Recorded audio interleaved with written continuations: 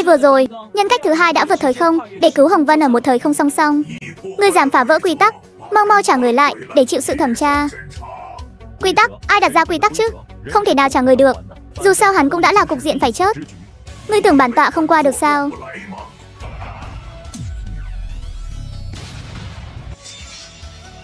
Đã không chịu giao ra Vậy sẽ phong ấn người lại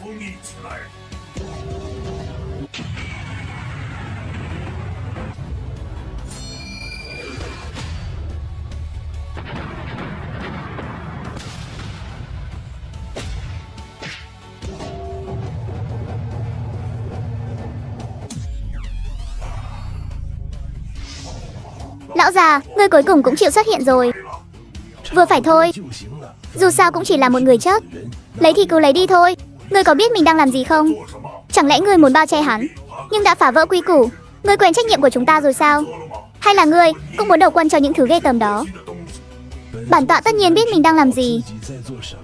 Chỉ là mọi việc đều có ngoại lệ. Hắn cũng chỉ hoàn thành một lời hứa mà thôi. Một lời hứa? Quy củ là quy củ. Không thể phá vỡ. Các ngươi đều phải về với bản tọa Để chịu sự thẩm tra. Hừ, cho ngươi mặt mũi rồi phải không? Lão già này, hắn lại đột phá rồi. Sao, muốn thử sức với ta không hả? Hừ, hôm nay bản tọa bán cho ngươi một nhân tình. Nhưng việc này bản tọa cũng sẽ báo cáo thực tình lên trên.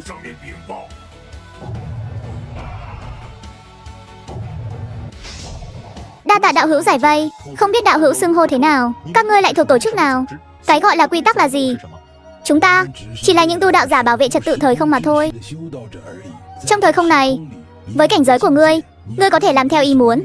Đây là thực lực và địa vị ngươi nên có. Nhưng ngươi không thể vượt thời không. Để ảnh hưởng đến tiến trình thời không của người khác. Nếu những tu sĩ mạnh mẽ đều như ngươi vậy, Tùy ý phá hoại tiến trình của các thời không khác, Như vậy sẽ gây ra đại loạn.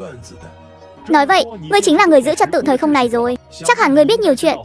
Có thể nói cho ta biết Bên kia của tận cùng hỗn độn là gì không? Lai lịch của hệ thống là gì? Tại sao hệ thống có thể tùy ý vào thế giới để thay đổi? Hỗn độn kính kết nối với thế giới bên ngoài.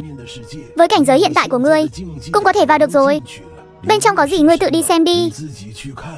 Còn lai lịch của hệ thống Chỉ có thể tự ngươi tra cứu. Chúng ta chỉ phụ trách trật tự thời không? Quản lý trong không gian thời gian này, Nếu không phải cường giả đại đạo cảnh trở lên, Dám ra tay phá hoại, Thì chúng ta sẽ không can thiệp. Đây cũng là quy tắc. Bất kể ngươi là hệ thống hay nguyên thần hay linh hồn, Đều phải tuân theo quy tắc. Chúng sinh đều như nhau.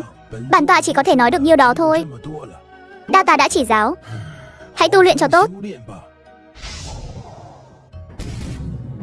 Trấn Nguyên Tử, Hồng Vân đã giao cho người Nhưng dù sao thời không khác nhau Ký ức có thể có chút sai lệch. Các ngươi tự trao đổi đi. Đa tạ thông thiên thánh tôn. Chủ thượng, số 007 có một nhiệm vụ đại đạo kính thất bại. Đại đạo kính thất bại Bản nguyên của hệ thống có bị tiêu hủy không? Nghe nói không bị tiêu hủy Bản nguyên bị đoạt mất. Bị đoạt mất là ai phụ trách? Là Tam Đạo Tôn. Biết rồi, lôi xuống đi.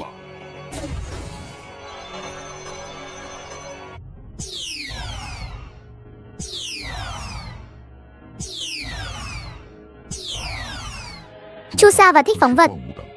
Nghe nói số 007 có nhiệm vụ đại đạo kính thất bại. Hơn nữa bản nguyên của hệ thống còn bị đoạt mất. Lão Tam, đó là nơi ngươi phụ trách. Ngươi không có gì để nói sao? Chỉ là một kẻ nhập đạo nhỏ bé mà thôi. Dù bị hắn đoạt, cũng được gì chứ? Hơn nữa hắn chỉ biết rút vào thế giới đó. Có ảnh hưởng gì đến chúng ta đâu? Xem ra ngươi sống yên bình quá lâu rồi. Ngươi nên biết Kế hoạch của chúng ta không thể có bất kỳ sơ suất nào. Hậu quả của thất bại ngươi nên hiểu.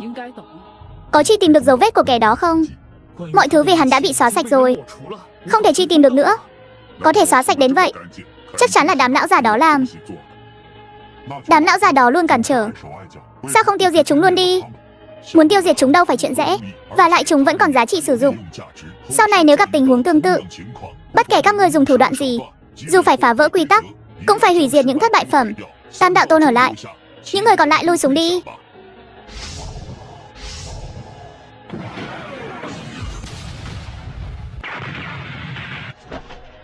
Đây là hình phạt dành cho ngươi. Bản tọa không bận tâm việc người thất bại, vì những thất bại cũng không ít. Nhưng thái độ của ngươi khiến bản tọa không hài lòng. Lần này tạm tha cho ngươi, nếu có lần sau sẽ trực tiếp xóa sổ ngươi. Ngươi có thể cút rồi. Như vậy ngươi hài lòng chưa?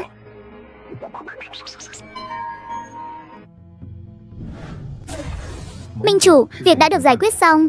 Đã chắc chắn xóa sạch mọi dấu vết chưa? Đã chắc chắn sạch sẽ, chỉ cần hắn không chủ động lấy vật đó ra, sẽ không tìm thấy trên người hắn đâu. Vậy được rồi, người lùi xuống đi.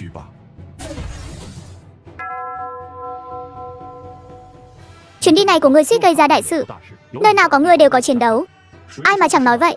Bản tọa chỉ muốn cứu một người sắp chết mà thôi. Lại xuất hiện một quy tắc trật tự thời không. Nhưng cũng có chút thu hoạch đấy. Ta càng muốn biết tận cùng của hỗn độ là gì. Tiếp theo người hãy chuyên tâm tu luyện đi. Bản tọa cũng có thể tu luyện trong thạch hải này. Cũng cần phải tiếp tục giải mã nguồn gốc hệ thống nữa. Giao cho bản tọa đi. Thiên phú của bản tọa cũng không phải dạng vừa mà. Trong thời gian tiếp theo, nhân cách thứ nhất của Thông Thiên đều chuyên tâm tu luyện, với sự hỗ trợ của nhiều bảo vật, nhanh chóng đạt đến hỗn nguyên cửu trọng thiên viên mãn. Đôi bạn Trấn Nguyên Tử và Hồng Vân